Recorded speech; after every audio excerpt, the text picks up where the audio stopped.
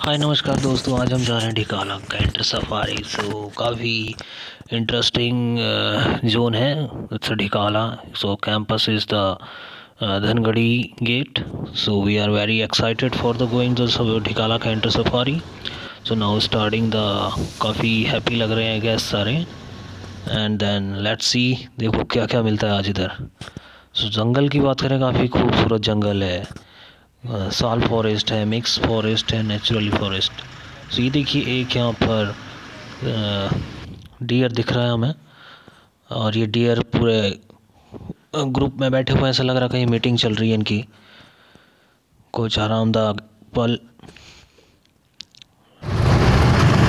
और ये grass land के होते हुए काफ़ी कुछ बोरिंग सी कॉल हुई थी। इसीलिए डियर भी हमारे आगे से भागते हुए नज़र आए थे।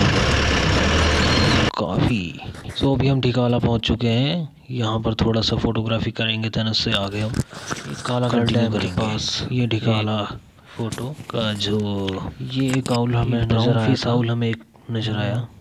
ब्राउन सो ये एक क्रोकोडाइल की फ़ोटो ली हमने। काफ़ी सारे क्रोकोडाइल यहाँ पर बैठे हुए नज़र आ रहे हैं सन बात करते हुए।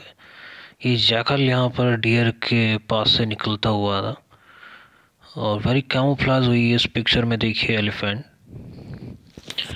सडनली हमने देखा क्रोकोडाइल बाइनाकुलर से तो देन क्लिक किया फ़ोटो ये देखिए ट्री के ऊपर एक ऐसा लिजर्ट है जो अभी कैमोफ्लाज हुआ बैठा था।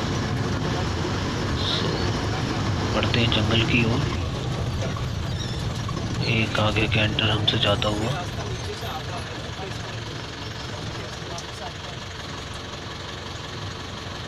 वेरी ब्यूटीफुल जंगल इधर का।